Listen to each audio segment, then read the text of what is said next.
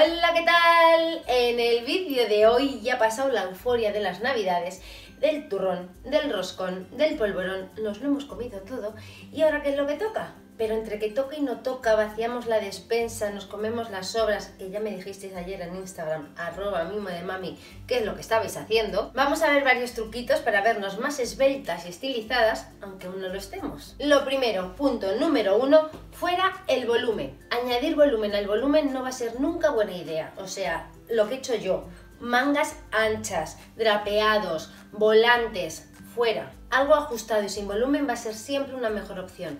Ojo al ajustado. Cuando digo ajustado no digo repretado, que entonces el efecto es el contrario. Si esa prenda ajustada pero no repretada le añadís un cinturoncito fino, veis que el efecto siempre va a ser más estilizado. Mirad con cinturón y sin cinturón.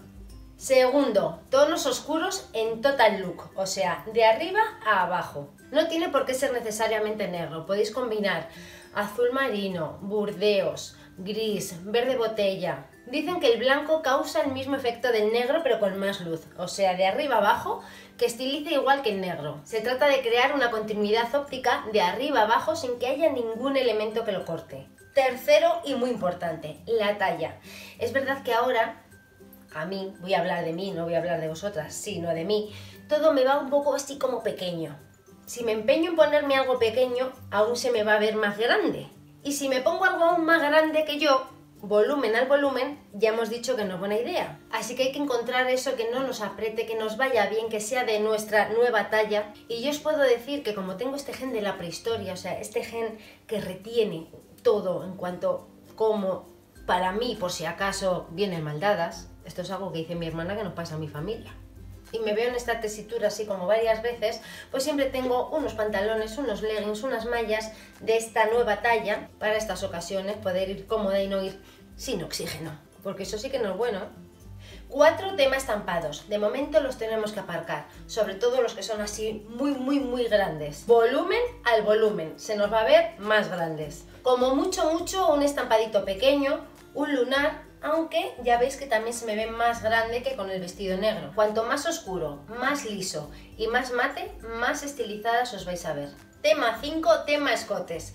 Cuanto más pegado a la cara, más redonditos nos vamos a ver. A medida que vayamos viendo piel, mayor será ese efecto de continuidad óptica que va a hacer que nos veamos más estilizados. El cuello pico es el que gana y si es cuello redondo, cuanto más abierto y más piel se vea, nos veremos mejor. Si nos ponemos un cuello pico y un collar redondo al cuello, aquí ajustado, peor. Hace lo contrario de lo que queremos conseguir.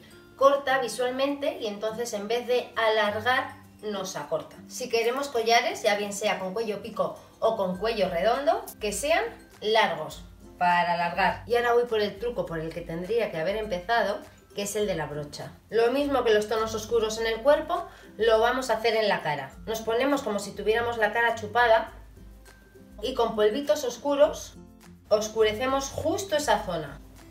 Y seguimos afinando con color oscuro en los laterales de la cara desde un poquito más arriba de la sien hacia abajo. Con el tema del pelo pasa lo mismo que con la ropa.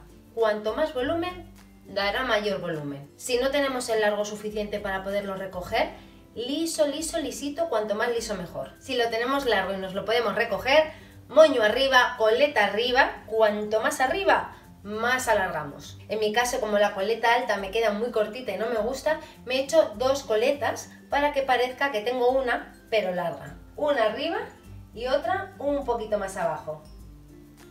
La de arriba tapa la goma de la de abajo y parece más larga.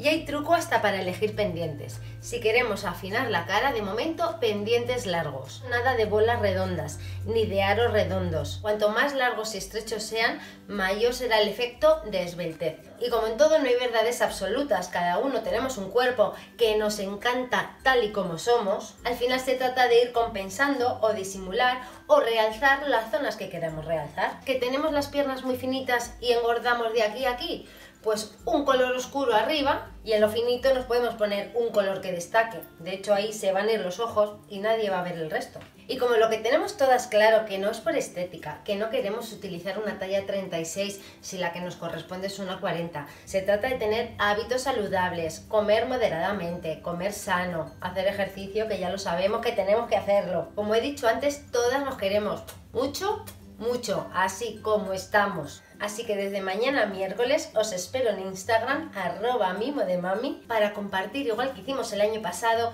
todas esas cosas que nos van a animar a estar mejor, a comer mejor, a tener hábitos mejores. El hashtag del año pasado que elegisteis vosotras fue rosquillas para tu prima. no sé si queréis otro, si queréis cambiarlo, si seguimos con este, decídmelo en los comentarios. Así que ahí os espero para ayudarnos, motivarnos entre todas, porque lo vamos a conseguir.